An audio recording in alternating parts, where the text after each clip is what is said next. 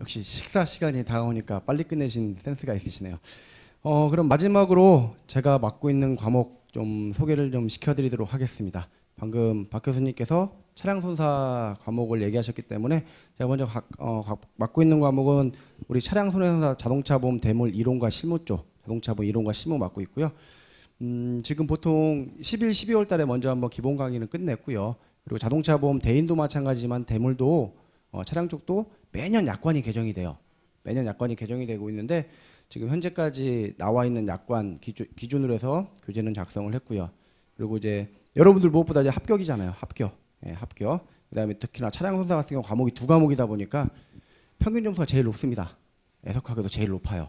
그리고 합격 인원도 어, 신체보다 적고 재무보다 좀 많고요. 그런데 업계에 이제 계신 분들이 많이 합격을 하다 보니까 우리 학생들 이제 수험생들이 많이 합격을 못 하는데 그만큼 어려운 만큼 취득하면은 어, 취업들은 대부분 됩니다. 차량 손해상사는 그만큼 취업 목적에는 상당히 부합되는 자격증이 아닐까 생각이 되고요. 과정은 1, 2월 달에 기본 강의를 시작을 합니다. 1, 2월 달에 기본 강의를 하고 이제 5, 6월 달에 보통 문제풀이 반 그럴 땐 주로 이제 과거 기출 문제와 이제 약술 문제 위주로 해서 어, 어떻게 시험 답안을 작성할 할 건지 그런 위주로 해서 하고요. 보통 7월 달 6월 말부터 7월까지는 이제 모의고사 과정을 운영을 합니다.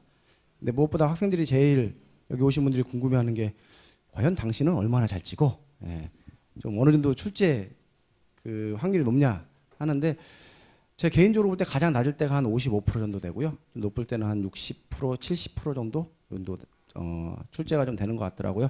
왜 그냥 비슷합니다. 뻔히 중요하다고 생각하는 거 비슷하고요. 그렇다고 해서 뭐 예상 문제 한 100문제씩 막 만들어 가지고 뿌려 가지고 그 안에서 나옵니다. 예, 그렇게 하진 않고요. 예. 예, 문제풀이 과정에는 그 정도 드립니다. 양은 드리지만 봐야 될 것과 그냥 알아둬야 될 것. 예, 이렇게 좀 구분해서 하기 때문에 실제 문제는 한 30, 그러니까 모의고사 문제 기준으로 볼 때 한 30여 문제 정도, 그 정도 범주에서 대부분 여러분들이 합격하는데 필요한 점수. 과거에는 조금 차량이 점수가 낮아가지고 그렇게 높지가 않아가지고 제가 뭐 육사를 많이 얘기하거든요. 육사요. 예, 두 과목이잖아요. 육사. 그러니까 내가 자동차 구조를 좀 안다, 전공을 했다. 그러면 구조 쪽에다 좀 포인트를 두시되 만약에 내가 자동차 보험 쪽을 좀 안다 하면은 이 이론과 실무 쪽에 포인트를 두셔가지고 육사로 하면은 50점이잖아요. 그랬는데 예, 요즘 점수가 조금 높으니까 거기서 한 5점 정도씩만. 예, 그래서 뭐 65대 45 비율로 정도로 준비하시면은 예, 꽈락은 나오지 않을 거 아니에요. 그리고 한 과목 조금 더 나오면은 문 닫고 들어가는 역할을 하실 수 있습니다. 수석 합격보다도요. 예, 요즘은 이제 2018년도까지는 수석 합격이라는 용어가 없을 거예요. 최고 점수 합격이 있는데 최고 점수보다 문 닫고 들어가는 게 제일 기분 좋아요.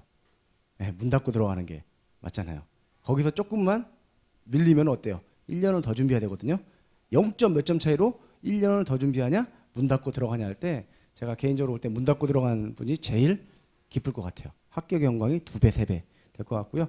그래서 교재는 작년도 거하고 큰 차이는 없어요. 그런데 이제 특약 변화, 특약 같은 게 변화가 된 게 좀 있거든요. 이제 그런 부분만 추가했기 때문에 어, 작년 교재 그대로 쓰셔도 되는데 일부 추가된 부분은 별도로 준비를 하시거나 또는 어, 하고 제가 수업 중에 나눠드리는 것도 있고요.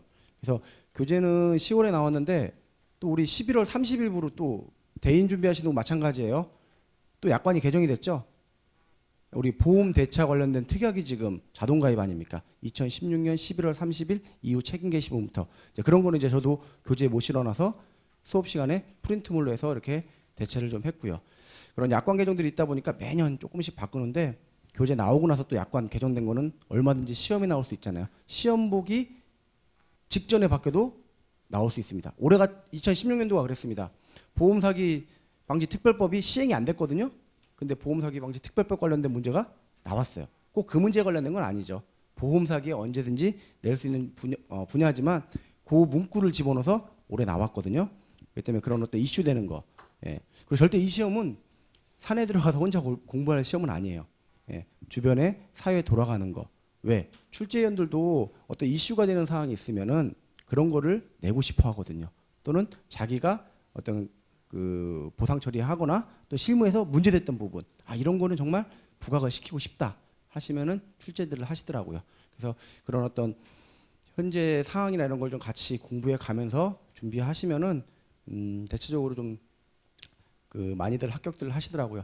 나름대로 지금 어, 보험 업계에서 회사에서 별도로 준비하는 과정 빼놓고 이제 밖에 민간에서 운영하고 있는 학원가에서는 그래도 가장 많은 합격생을 배출하고 있거든요. 차량 손해상사 관련돼서 준비하시면 될 것 같고요.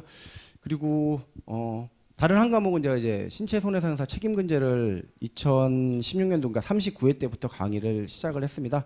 그래서 내년에도 지금 강의를 그대로 하고요.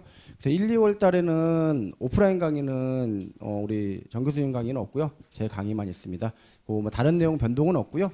이제 11월 달에는 대부분 동영상 강의 때문에 촬영 때문에 이제 11월 달에 오픈을 하는 거고 어, 과정은 동일합니다. 과정은 동일하기 때문에 기본적인 교재 부분에 있어서 어, 뭐 전년도하고 조금 책이 좀 바뀐 거는 이제 강사가 좀 그 같이 쓰던 교재를 나누어서 우리 경 교수님 교재 바탕으로 해서 제가 좀 더 추가시키면서 교재를 별도로 내 가지고 그거는 좀 신규로 구매를 좀 하셔야 될 것 같고요.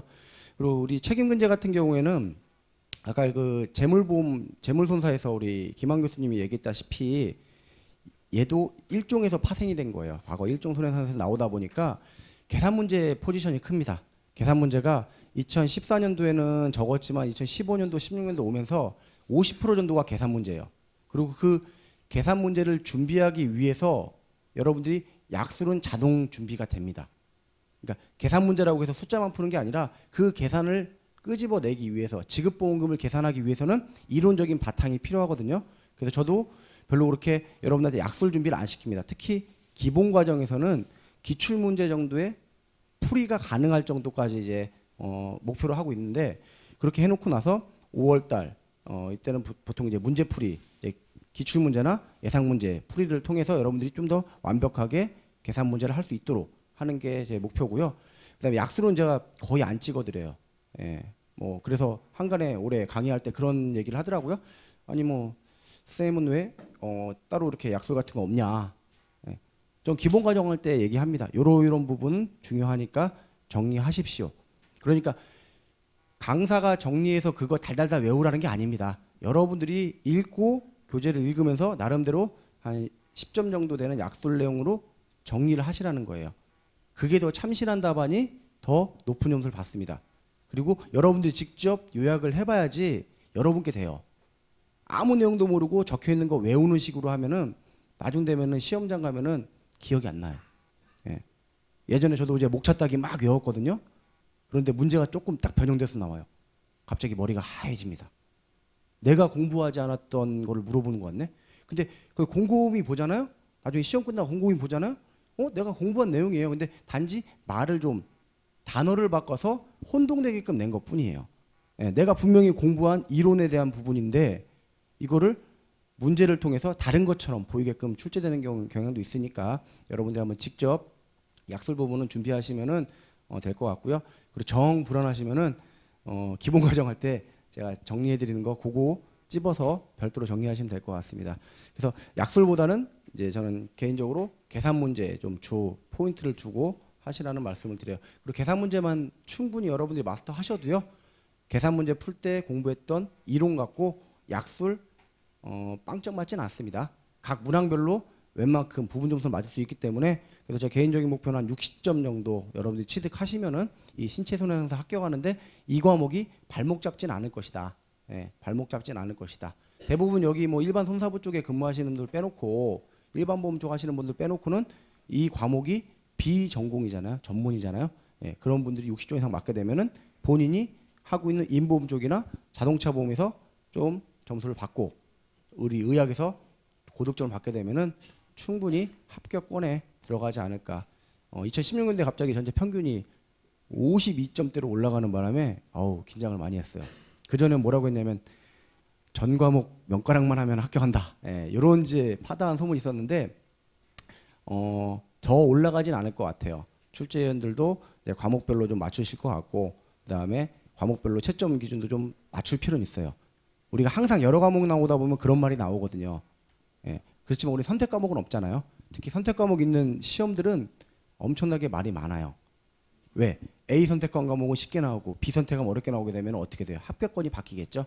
예, 그러진 않는데 어느 정도의 이제 과목별로 그 채점 기준이나 이런 건 조금 맞춰가지 않을까 자- 나 추후에는 그러지만 이 과목은 그래도 여러분들이 한 60점 정도의 수준은 받아줘야지 다른 과목들 하고 그리고 음 제가 이제 약속을 또안 찍어드리는 결정적인 이유가 음 이것만 너무 하다 보면 이 과목 100점 받는다고 학교 간다고 하면 100점 받도록 하겠죠. 하지만 여러분들은 주어진 정해져 있는 시간 동안에 네 과목이라는 과목을 다 해야 되잖아요.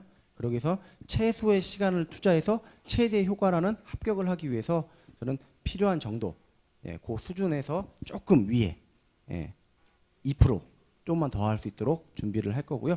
같이 한번 1월 달에 개강할 때 한번 찾아뵙, 뭐 다시 한번 보통 오리엔테이션 하니까 자세한 거는 학습에 나가면서 이렇게 좀 진행을 하도록 하겠습니다.